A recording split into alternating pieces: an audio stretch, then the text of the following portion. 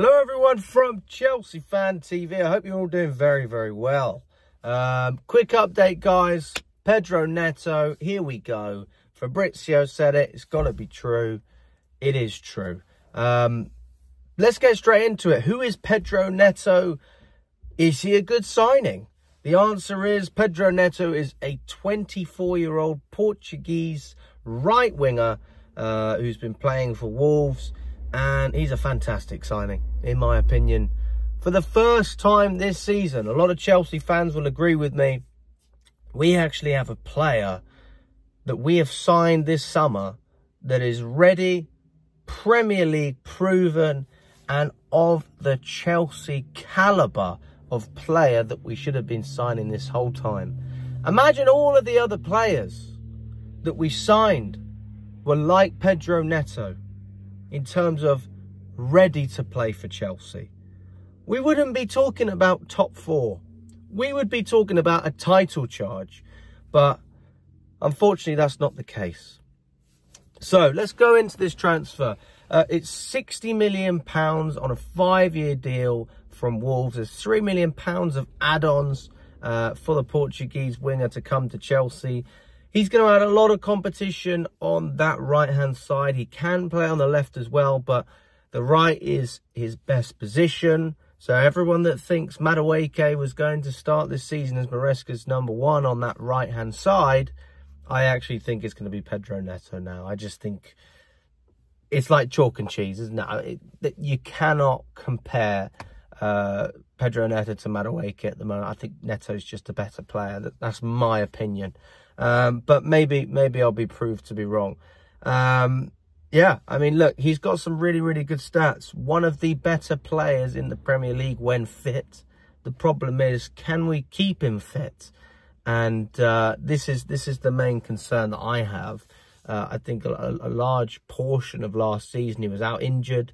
Um, he has had quite a few injury problems since he's been at Wolves, but when he's been available, he's been fantastic, right? So this could prove to be a great investment providing he's available. But we've got so many other players out there. You then ask the question, why do we keep buying injury-prone players? We've got Fofana, we've got Reece James. We've got all of these players that we can have. Um, and when they're fit, they're great, but they're not fit. So I hope that we don't have another issue like that with Pedro Neto. I really do. Uh, his goal scoring record for Wolves is, is nothing special, if I'm totally honest with you. Um, he's played in 111 games in the Premier League. He's scored 11 goals. He's got 20 assists. So he is more of a creative player rather than a goal scorer. But we're going to need that, right? We've got Omorodion, who's coming from Atletico Madrid. We've got Nico Jackson as well, Nicholas Jackson. He needs support to try and maintain the form that he had last season and maybe even get to new heights. Uh, lots of players are needed to boost this squad. And when I say that, I mean creative players who can break through the lines and break low blocks. Uh, we are trying to transform the way we are playing from last season.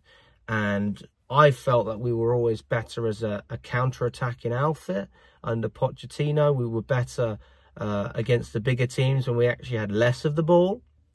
And now it's the opposite, right? We are going to have the majority of possession most of the time. Pedro Neto is a great player for breaking down low blocks. So I'm very, very confident that he'll settle in quickly. I'm confident he'll become a starter sooner rather than later. There's also rumours that Sterling is linked away with Juventus.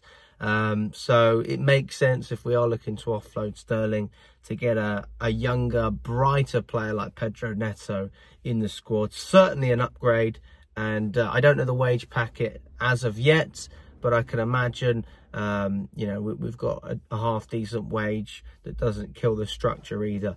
Um, yeah, so let me know what you guys think. Do you think Pedro Neto is a good signing for Chelsea? Are you as happy as I am? I personally would say he is probably the best signing we've made um, this summer. I mean, Jorgensen, you could argue, is a good signing as well because of the style of play. But I like Petrovic. I just think it's unfortunate.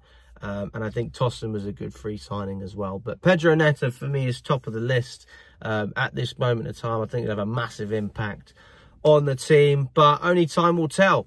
Let me know what you guys think and all the best.